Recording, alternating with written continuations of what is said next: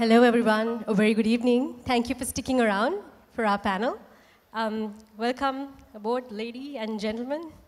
Uh, looking forward to a very, very, interesting discussion with you. I'm not going to give um, a large introduction to what we are speaking on. I mean, uh, the topic itself is very descriptive. Um, creativity, um, in a sense, have uh, driven human evolution um, all along the way. But since the um, evolution or, or, the emergence of the technological era or the digital era, the question remains whether technology has gone beyond uh, creativity. Um, and this is something that we are going to touch upon today with diverse perspectives coming in from our panelists, um, representing very different sectors of creativity uh, of their own. So my first question, I think, goes to Raveen. Um, Raveen has his roots in digital entertainment, digital community building, and web development, and has founded two digital entertainment companies, and currently is also the president of Esports Association of Sri Lanka, where he's spearheading esports adaptation here um, in our country. Raveen, firstly, what was it like for you in disrupting a very strong-rooted platform as uh, traditional sports here in Sri Lanka, and how has the journey been for you? Sure. Okay, so basically I'm Raveen Wijayatilaka, uh, CEO of Gamer.lk and currently the president of the Sri Lanka Esports Association. Um, our journey has been uh, one of 11 years. So it's been 11 years since we started uh, Gamer.lk and it has been a phenomenal journey in terms of how it has grown from something very minor. This is a pre-Facebook era uh, where when we started to today when it has uh, basically uh, created communities and uh, movements in esports and digital entertainment. In 2007, it was myself and a couple of friends who basically, you know, were looking at the international scene, seeing what's happening there, and we got together and started what we called a discussion forum online uh, to talk about games uh, and like-minded activities that turned into basically us playing the games as well as wanting to you know compete against other people. And we were seeing this happening internationally. In, in of course this is 10 years ago it was happening in a small way. But we want we saw that and we really wanted to get involved in it. And so we, we started things called weekend gaming where it was basically hosted on uh, local servers like uh, servers at home where 10 or 20 people used to connect and play against each other. So that was the birth of basically the esports scene in Sri Lanka.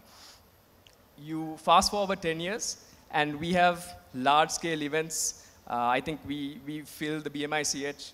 Last year, we had it at the Sri Lanka Exhibition and uh, Convention Center, SLECC. We have about 3,000 people taking part in esports, and about 25,000 people coming to watch the games uh, and take part in all the activities over a three-day period. So basically we are looking at a complete shift in how um, millennials are looking at traditional sports. You see viewership uh, declining for traditional sports like the NFL, uh, even the FIFA World Cup this year. There was a bit of a dip uh, for various reasons, but you see uh, digital entertainment and esports is on the rise. Um, if you look at uh, the NFL, by 2020, esports viewership is going to exceed uh, the number of people who actually watch uh, events like the NFL. And that's a significant uh, achievement. And if you look at the numbers, that's a significant number to actually go and uh, present to even a sponsor or a different community. Uh, yeah, so in terms of uh, the association, we have now in Sri Lanka being recognized as an official sport. So the Asian Games is happening uh, at the end of August, where esports is being recognized as a demonstration sport. And in 2020, um, Asian Games, it'll be a recognized official medal event. That means Sri Lankans can go to the Asian Games and actually win a medal for playing games. So that's a significant achievement in terms of uh, what we've been doing for the last 10 years. So in order to achieve that, we actually had been lobbying the National Olympic Committee for the last four years we've been telling them, look, esports is a force to be reckoned with. You know, there are so many people actually watching the games. Um, internationally, it's being recognized in, as an official sport. And uh, this year, we actually broke through and they gave us full support to actually send the team to the South Asian qualifiers, where one of our members actually won, and they'll be representing the country at the end of August in, in, in Indonesia. So uh, that has been a significant achievement for us. And uh, through that, we have actually been able to uh, speak to the sports ministry. And the sports ministry has also told us they'll be giving their support to recognize esports in Sri Lanka as an official sport. Uh, so actually that's where, where we are now, and it's basically uh, significant hypergrowth uh, for esports and the whole digital entertainment scene in Sri Lanka as well, moving forward. Thank you, Ravi, and may I say well done. Thank you very much. Next, I turn to uh, Pradeepa, uh, Pradeepa Jiva. Um, she made it big um, in the US. She worked with YouTube, Machinima, and Warner Brothers as a producer. And now she's also moving into Africa for a new venture as a, as a social entrepreneur. And I'd like to hear your insights on how technology has evolved in areas of your work, I mean, um, the cross-pollination of the work that you do actually, to address social issues, especially through creativity and creative industries. Thank you. I feel like I'm in a video game right now. with all this. Um, oh, my notes. So I want to start off with some numbers. Um, the creative economy is uh, almost $30 trillion. And about, there's about 25 million jobs that come from the creative economy. The issue is 80% of that, the narrative is held by white men. So one of the things that me and the companies that I work with have been trying to do is get more Asians, South Asians, and Africans into the creative economy and be able to um, benefit from that. And so one of the projects that I'm working on currently is we are going to be going into Burkina Faso, which is in West Africa. And for the next nine months, we're going to be piloting a program where we're going to mobilize about 500 young people and hire 100 young people and teach them how to be at the center of their messaging, produce the content that they are um, going to develop, and then teach them how to actually distribute that content throughout West Africa. Um, so it's always, in, in, my, in my career and in my trajectory over the past 15 years, uh, I have worked in studios, I have worked with some of the biggest gamers and influencers on the planet. Um, and a lot of the, the stories that I'm telling and the stories that I'm consuming and the people that I'm working with and answering to don't look like me and don't look like you guys. And that's why something like Disrupt Asia is so exciting, and I love that this is happening. I love seeing Sri Lankan people being so involved in the creation of their own messaging and um, becoming entrepreneurs and creating tech solutions for uh, local issues and problems.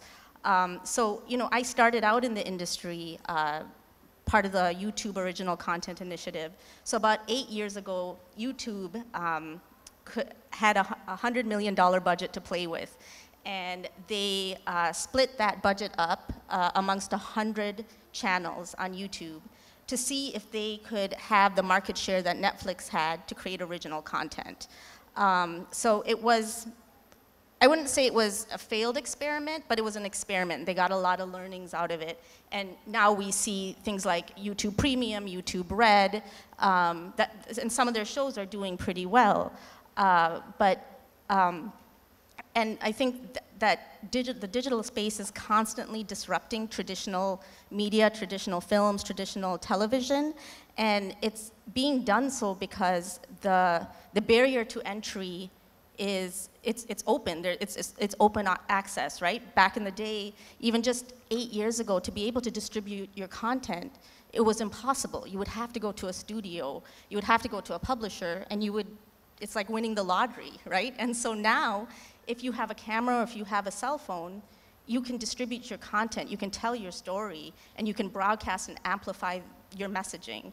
And so it, what's really exciting, cutting forward, going to um, Burkina Faso is it's, it's, uh, it's not developed at all. There's, there's a lot of room to come in and provide low-tech solutions that can be adapted quickly and people will be able to leapfrog into that technology and use, use these learnings and use the access to resource and tools that we're hoping to provide to really um, solve problems within their community, to bring access and resources to people in their family and to their peers.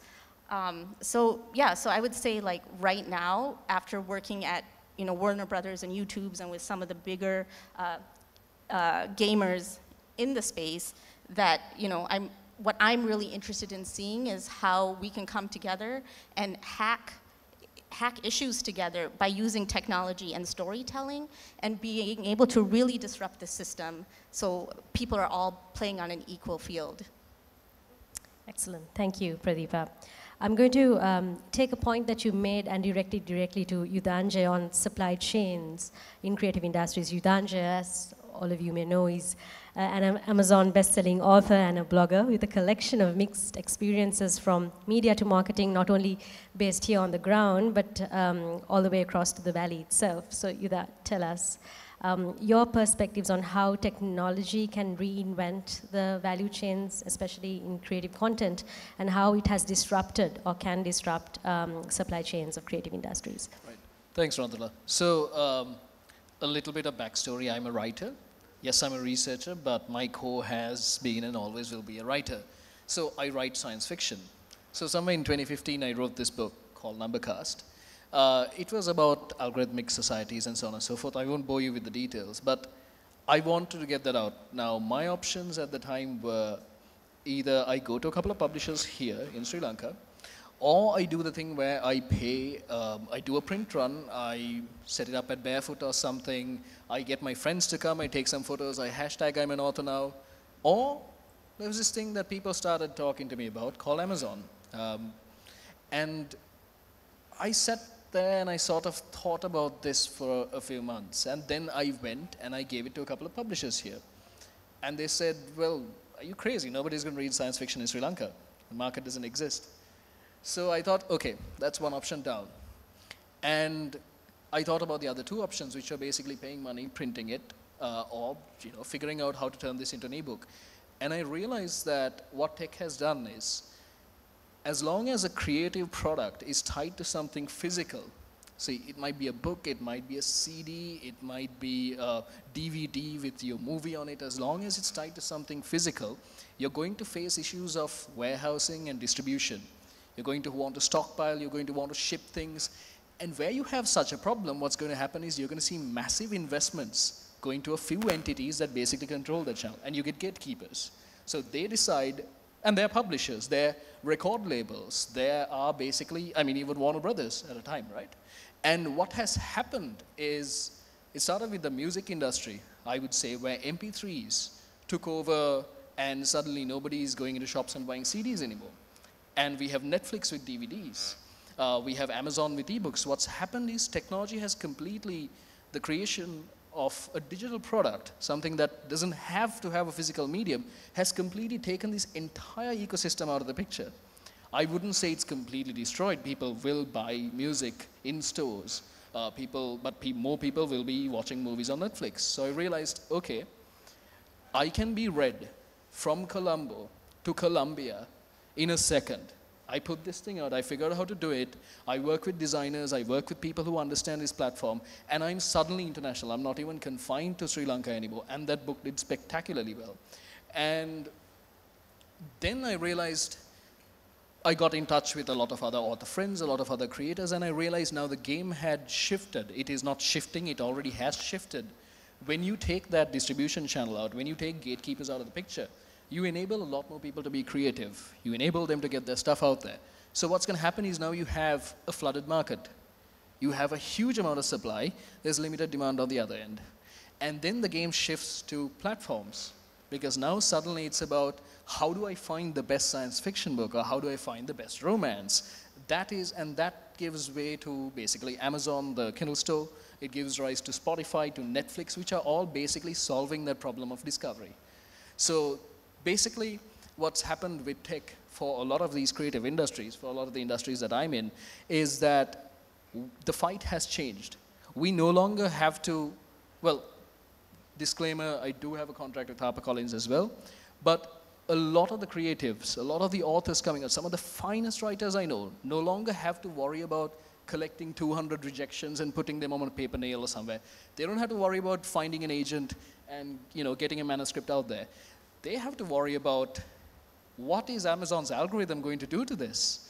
Are there a lot of people searching for this category? Is Amazon going to recommend these through emails to readers? How do I figure out where my potential readers are? So there's, there's basically a connection between the consumer and the creator. And now the challenge is basically how do we acquire as much data as possible on the people reading our books and how do we market to them better? Thank you, Dhananjay. I think you um, gave a very solid direction to the second round of questions. I'm going to come to that um, after I uh, speak to Sugi. Um, Sugi is the managing director and head of brands at Magic Mango. Um, he started his advertising career very young and have now come full circle having his own agency and also as the, uh, the president of the 4ASAS Sri Lanka, the Accredited Advertising Agencies Association. Um, so Sugi, when we talk about the advertising industry, now we spoke about books and um, online content and sports and advertising, if I, if I may say so, is like the godfather of all of this. Um, how do you see the industry disruption from Mad Men era, if I may say so, to now? Has the advertising industry here in Sri Lanka embraced technology and its evolution with open arms? How do you see it?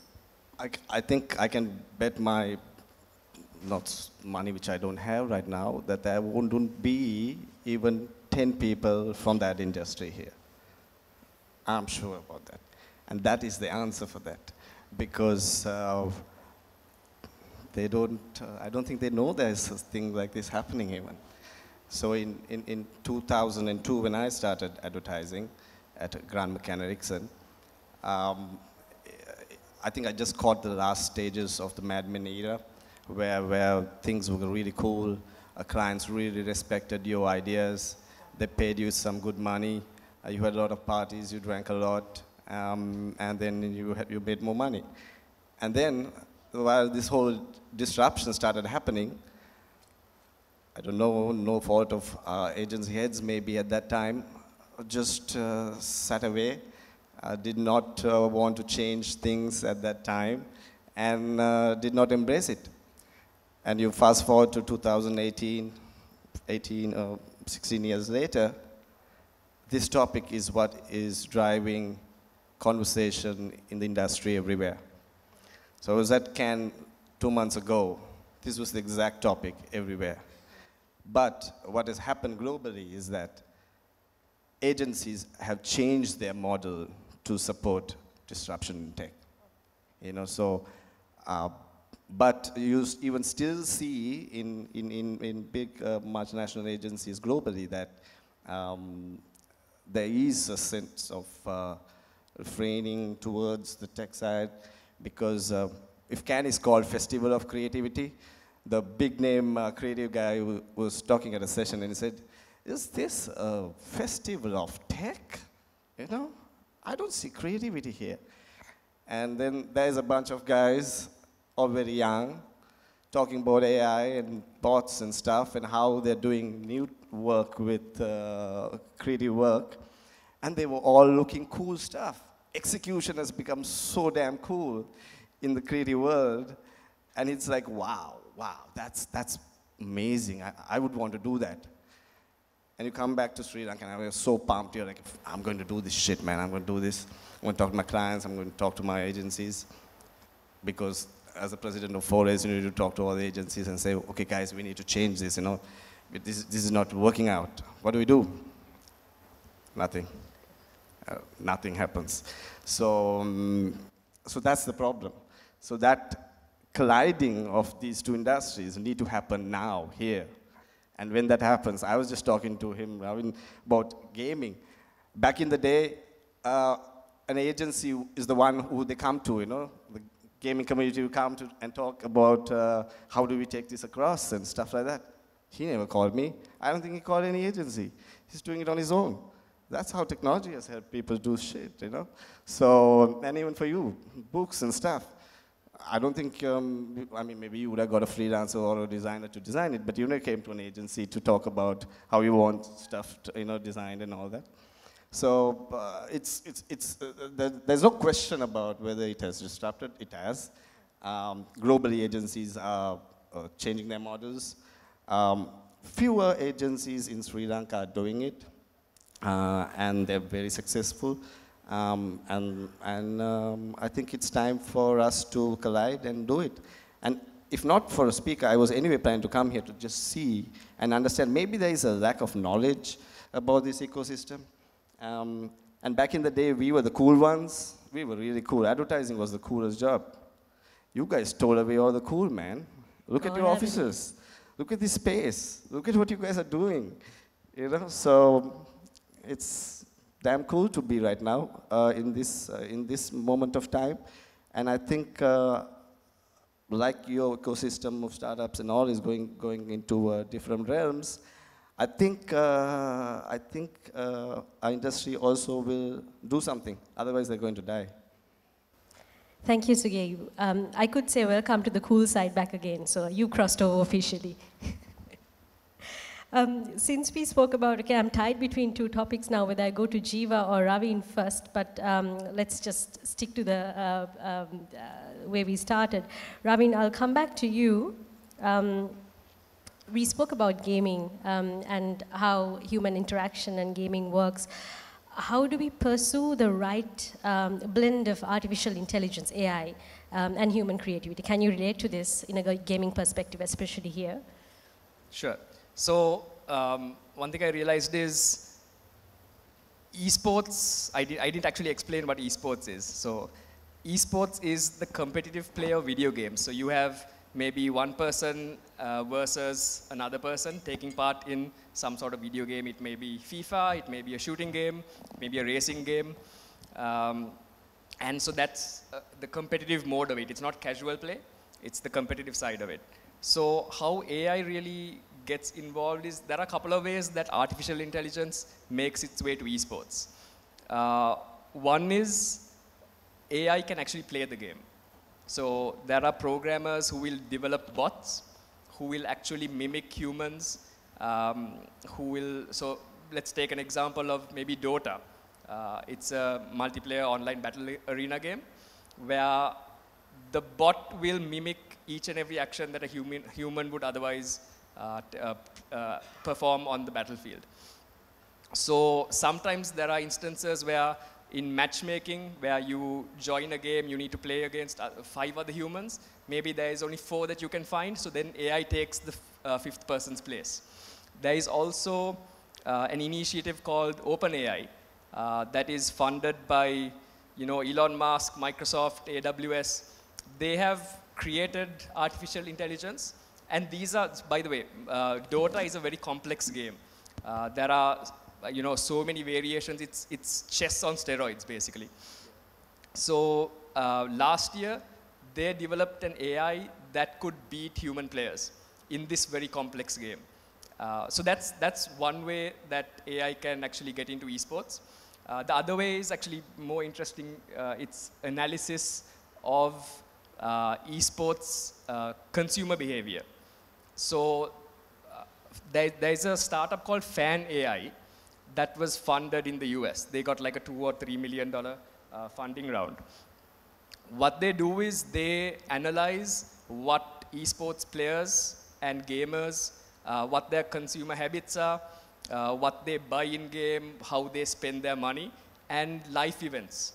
And uh, based on AI, they will actually then uh, convey that information to sponsors, uh, where brands will then take that information and market exactly what those consumers need. So, I mean, back in the day, you can speak to this. Uh, you'd, you'd understand what people were watching on TV by a, basically a physical survey, right? Uh, you'd, you'd understand how many people are watching your program or your advertisement based on physical surveys. We are in, a, in an era that AI can actually understand what type of person you are and how many of your type of person is actually watching these games. Uh, the other ways are, of course, we have, uh, and, and there's a lot of money behind this. Uh, investments in training. So esports players um, will train against bots. So there's another $5 million investment uh, that has gone into something called Gosu.ai, uh, where they have built a platform where esports athletes can train against bots. So there's a lot of money coming into this space. Uh, in terms of investments because in the next five years, the prediction is that um, esports is basically going to be in the top three sports of the world. Uh, by 2021, by 2024, it's uh, going to be in the Olympics. Uh, that's, I think we're about 90% there already. Uh, the Olympic, the International Olympic Committee has already had, actually it was this July, they had a, a conference on esports to basically uh, discuss the suitability of esports, uh, including it in the Olympics. Uh, and yeah, so there's a lot of investment uh, into this whole AI aspect of how AI can get involved in esports from the branding side of things, from the sponsorship side, as well as the training and the, the interaction of it. Thank you, Raveen. Um, I'm directly going to come to Yudhanjaya because I can build on to the topic of AI that way. Um, blending AI and creativity, Yudhanjaya thinks is a stage too early. Um, would you like to expand on that and say well, how it can be clearer in the future? How could it be used better? So my, my thing is this, the whole AI debate right now, you have people who understand what they're doing, uh, going, there is no AI. We have machine learning. We have, uh, we have things like TensorFlow. We have narrow AI, which is highly domain specific. It can generally perform better than a human in that one particular domain. We don't have a general purpose artificial intelligence, so we, Skynet is not coming for our jobs. But now, 2016, uh, Japanese, uh, a, team of researchers uh, at a Japanese university assembled something, a program, which basically put together a novel. And ironically, it was a novel about a computer writing a novel. That particular novel went on, uh, it was actually entered in, a, in one of the most prestigious Japanese literary awards, and it almost won. So what I'm looking at, again, it's not pure AI functioning. It's AI plus human. So what I'd like to look at is the field of chess. Now, chess, when Garry Kasparov gotten beaten by Deep Blue, chess is a field that has historically had a lot of time to deal with getting its ass kicked by AI. And right now, some of the best chess players, um, you know, a decent chess engine will beat the best grandmasters, hands down. So what happened in chess was not, there is now this subfield called advanced chess, which has the best chess players on the planet. They're better than grandmasters, they're better than those chess engines, because they're not just chess engines or grandmasters, they're actually humans plus chess engines. So how these guys play is a player, a human, will have up to five or six chess engines computing all possible moves, and then the human selects the best one. And they, it has been routinely proved that even a weak human chess player, coupled with some really strong uh, chess engines, can routinely defeat grandmaster level opponents. So I think that's the future. It's not AI versus humans. It's going to be AI plus humans. Now, going back to the whole literary thing, uh, I thought, okay, someday uh, you can essentially feed a bunch of words. You can feed a novel into a machine learning, uh, a model, and basically generate something that will generate something like that in that style of writing. There's enough and more examples of people saying, I fed Harry Potter into an AI and look at what it generated. And there are these pages that kind of look like they were written by J.K. Rowling if J.K. Rowling was really drunk. Now, I'm hoping that this technology really improves in the next 10 years because I don't have a lot of time left to live on this earth. What I'm going to do is figure out how to do this, feed my novels into it, and have that AI producing novels for all eternity. Let's give it five. Yeah, I get to live forever. It's very egotistic, but now it's possible. Thank you, Dajay. Um, Pradeepa, I'm going to come to you. Um, you have extensive um, experience working with uh, reputed companies in the US. And uh, when we had the discussion earlier as we came here, you um, had a lot of interesting insights to share as to how companies use big data in terms of creating creative content uh, according to the demand of the users. Would you like to give us a bit of insight on that? Sure. Um, so I was heading development, uh, creative development for Machinima. Machinima is the oldest and uh, the oldest MCN uh, multi-channel network on YouTube. We have about 18 million subscribers, and uh, when I first came in to do creative development, I was reading, I was talking to influencers, I was paying attention to the games that were really popular, you know, talking to my business development team to see what we could license um, and uh, repurpose and recreate uh, for original content. Uh, but when I came back just this last year to Machinima, I was no longer um, talking to my business development team on what we were going to be licensing. I was talking to my business intelligence team that grew from three people three years ago to 35 people. Our business intelligence team is building out um, a new product called the Brain, where they're basically uh, using big data to understand who is watching the content that we're putting up and what else are they watching, what other platforms are they watching it on, and what are the intersections of other influencers that are also behaving the same way so they, we can do some shows that are cross collaborations. So for example, um, Ninja is probably the biggest uh, gamer in the world right now on Fortnite. And he, he predominantly streams on Twitch. He had 600,000 consecutive streams at one time. And that, I mean, the next person uh, to him is can't touch that number at all. Like he's, he's a phenomenon. He's a pop culture icon at this point and an anomaly.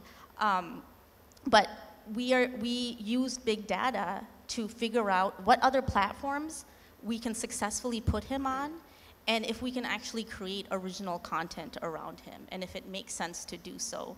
So just three years ago, when I was at Machinima and Warner Brothers, when I was developing original content, I was reading magazines, I was reading books, I was having conversations, I was meeting with my development team. We were using uh, big data, but not to the extent that I'm using it now. Big data is completely influencing the trajectory of our, um, of our creative, of, of the platforms that we're going to live on, of the collaborations and the partnerships that we want to have as a studio. Um, so it's, it's really, I mean, you always have to have that human element. It's very important, right? That's, that's the magic, that's the creativity. But, uh, but big data is super influ influential. And just for no, about eight weeks ago, we were acquired by AT&T. Uh, Warner Brothers was uh, in one of the biggest mergers, and they, when they came into our offices, all they wanted to talk to us was about was about our business intelligence team and how to be able to apply data to content for uh, original content for mobile devices around the world. And so, you know, they're, they're, they're got way more excited about our big, the information that we have. As you said earlier, data is gold. So anything that you're doing, anything that you're creating, hold on to that data because that's the most valuable piece of information right now. Everybody is, everybody's trying to get ha their hands on data because the more you know about your consumer, the more you know about how people are, are engaging with your content, the more, the more you can build around them and create for them. Um, but yeah big data. Yeah. Keep that in mind. Thank you, Pradeepa. I think there's a lot going on out there already um, that helps creative industries uh, to emerge out of um, where they are, but I don't think it's even heard of here uh, back at home in terms of these types of users, especially for uh, the creative industries. So on that note, I'd like to uh, come to you, Sugi, again. Um, on advertising industry, existing monetary structures, they're extremely old. Um, and pretty much still in use. And this is clearly a clash between the old age advertising um, structures and the new age digital platforms that needs to be used to address the common uh, modern day consumer. How, how is this clash going? How bad is it? And how can it be disrupted? Uh, that's, uh, that's an uh, interesting question because, uh, I mean, it's crazy to uh, believe that every time you run an ad on TV, that the creative agency gets a 10% or a you know, 12% agency commission on that. So you just imagine the numbers on a 150 million or an 80 million uh, media plan. So agencies get a buttload of money. So that was good. So it's still good. But then with all this disruption, and I say, yeah, TV is not working, print is not working, radio is not working. So it's very easy to say it's not working yeah, it's clear not working, that's fine. Then you put it onto digital, and then you're talking about content and all that. But then the agencies are not making money.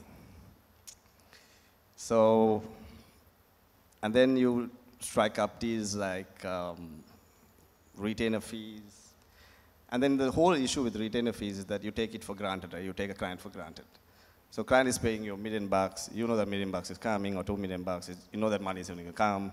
Your service towards the client is like average, and then the client and agency relationship gets like a bit literally disrupted. It's like, yeah, you guys know the money is coming, no much so you, no, no, no, where's the work, much well, that sort of chats start coming in.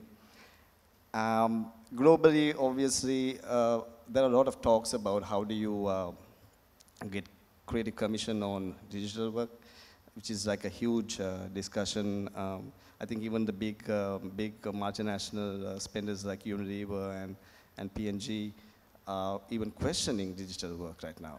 You know, is, is four seconds viewing of, you know, if you created a 30 second film or a digital film and then the, your audience is only watched it for three seconds and it counts as a view. Am I only, you know, so where's the money going? So a lot of conversations like that is coming up.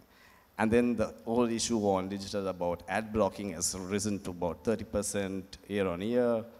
Um, uh, skip ads have just increased about double the time on that. So even the di digital side of advertising is also getting questioned. So I'm sure even in time to come, there will be um, a lot of um, regulations on that, which would help um, advertising agencies uh, work much better with uh, clients to determine how they spend their money. So, but I think uh, TV is still going to stay for some time. Um, bad advertising is dead. Uh, we do a lot of that.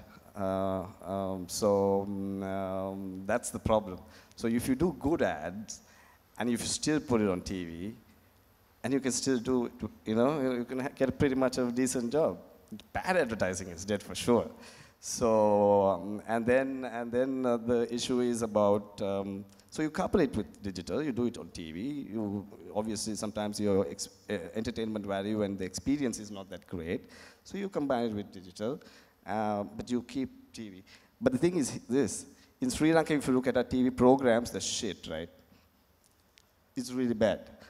So people need to, you know, do proper content on TV.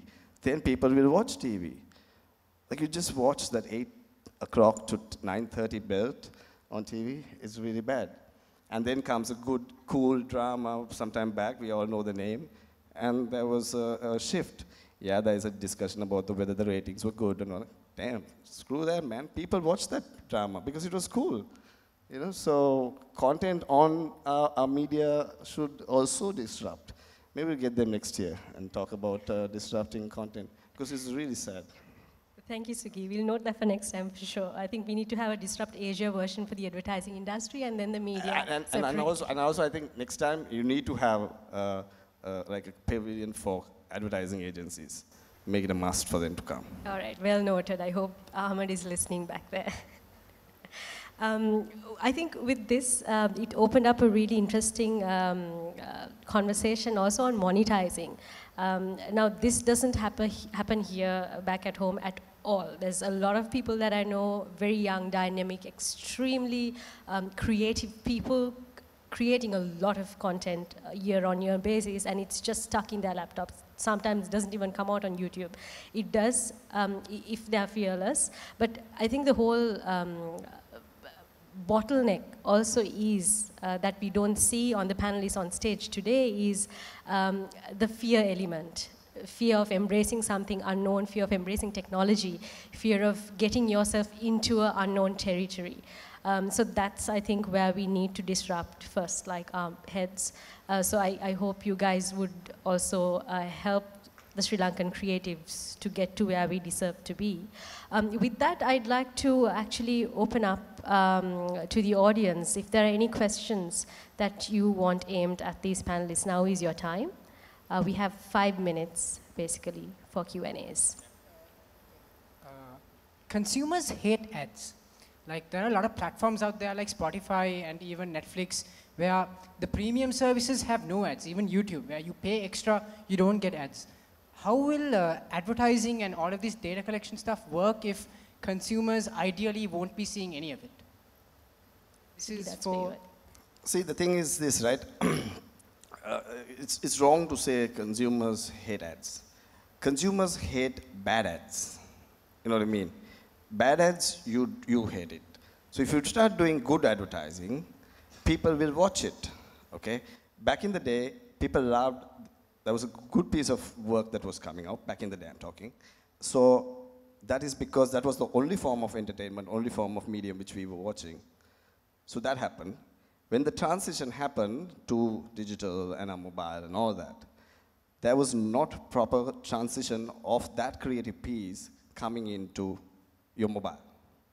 So you can talk about Spotify and all these things, that is great, but the thing is that at the end of the day, a brand has a problem, brand wants to tell a story, and that good idea combined with the technology will create your super story or a super ad, which you can interact with it, you can share worthy ads.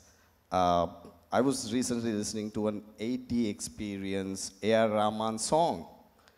And, and on the same day, on, like we all have multiple WhatsApp groups, right? So people were sharing that. Now imagine if someone did an 8D experience radio ad for some brand and shared it. We would have picked up for sure. There was a piece of work that happened in Sri Lanka, I don't want to mention name. Uh, it was a 360 degree uh, TV ad uh, for the first time in the country. People watched it, people shared it, people loved it. So that is good advertising, which is embraced with technology. And you do some good stuff, that's all. It's, it's purely bad advertising is what we, it's like, per, like you have a permanent ad blocker in your head, you know? You see a bad ad, no, I'm not going to watch that. You have a permanent blocker on your head that's like there. there's, uh, there's nothing to say that the content itself can't be the ad, right? Because I, was, uh, I was thinking about this thing that Microsoft Research did, where they wanted to reach out to scientists, programmers, and they realized that these guys read hard science fiction. So what they did was they collected some of the best hard science fiction writers of that era and wrote a book and got all of these guys to write a book. And at the heart of all these stories was Microsoft Research. That was a brilliant way because that is content that people paid for and it is also advertising. Thank you. and, and also just, just um, I wanted to show a video, we couldn't show it. Just, just YouTube uh, the last uh, Rembrandt on YouTube and check it out. Uh, it's a new painting. Uh, 400, year, uh, 400 years ago he died. Um, and there's a new painting by him using a new technology. Yeah, it's, it's a 3D printed yeah, amazing yeah, painting. So. Yeah. There was another question up front, or is that also answered now? Yes, we have a question at the back. Hi, this is for Sugi. Uh, I would just like to know what would be what is the most effective platform of advertising uh, right now? TV. No, I was joking. No, no, no, no. I, it's, it's really hard to, to say what, what, is, what is really good. It, it depends on the problem.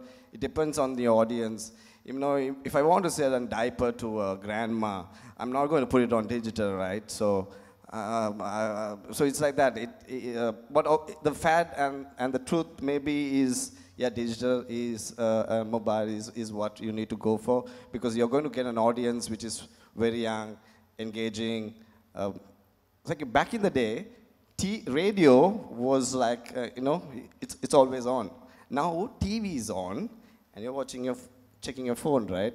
So just like that, it depends on the it depends on the audience so uh, and and on the problem on the level of complex problem so let's go with digital for disruptive's sake Thank you, Sugi. I think people are trying to mark their presence who represents the advertising industry in the audience right now. That's so many questions coming to you.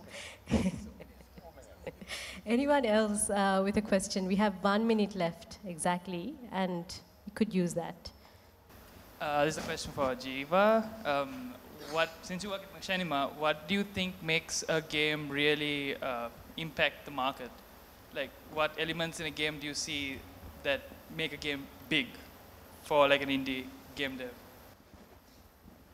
I'm not a gamer, but I'm going to let you answer that question actually, because I'm not someone, I work at Machinima, and I depend on a lot of people like him who are actually uh, have their finger on the, the pulse of the culture.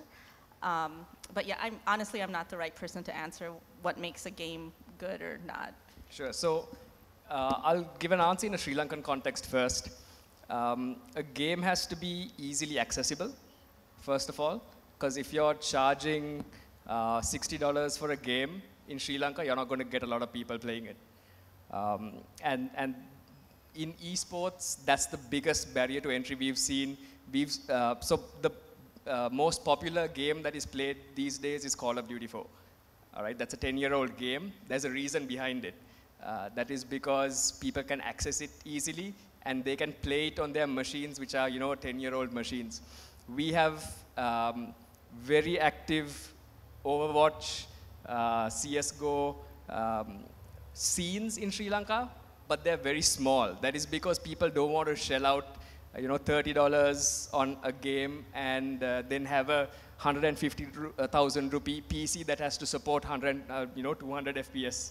Um, so th there is that big barrier of entry uh, for a game really hitting big numbers within Sri Lanka. On an international scale, it's a completely different answer. Um, it needs that X factor. I mean, like Fortnite got really, really popular because people watched other people playing it. PUBG got really, really popular because, uh, I mean, it was a really crappy game when it got released. It was really buggy. Uh, but it went viral because people were watching, you know, let's plays, people were playing it and streaming it, and it got really popular on Twitch. And then, you know, that, that, was, their, that was their marketing strategy to get PUBG uh, really popular and to get people playing it. Because, you know, it, it was uh, a limited access release at the beginning. So uh, person A would stream to a thousand people, but that thousand people really wanted to get that game, but they couldn't. So there was high demand for it, and as soon as it was released, the numbers really skyrocketed. So it, I mean, it's it's there is no one answer. Each game gets popular for various different reasons. Dota 2 is popular for a different reason. It's a completely different strategy game. Uh, but I think Fortnite and PUBG, at the moment, bigger stream games, got popular because of those reasons. Thank you, Raveen. I think with that, we need to um, wind up our session. Um, really interesting group of panelists we've had here tonight, and they'll be outside hanging around um, almost for the whole of the rest of the evening. So catch them, corner them, question them if you have more questions. Thank you, Pradeepa and gentlemen, for joining us for that very interesting discussion, and thank you for staying in with us. Have a good evening.